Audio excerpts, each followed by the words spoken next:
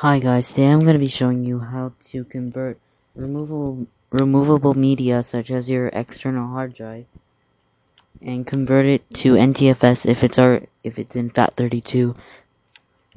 So the first way you can do it is right click on the removable disk or storage and hit format. Now just choose the file system.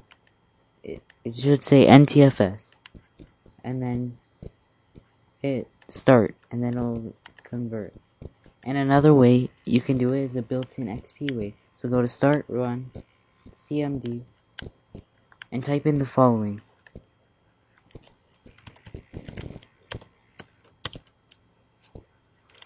E, you can replace E with the drive letter of the removable storage that you're trying to convert.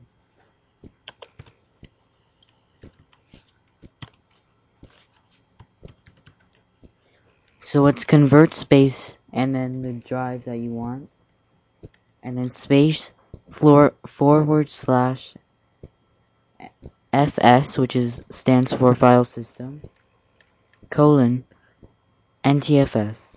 And then it, it will convert to NTFS. First it will reboot and then it, it will start converting. So those are two ways you can convert FAT32 into NTFS. Thanks for watching. If you like this video, please comment, rate, and subscribe, and thanks again.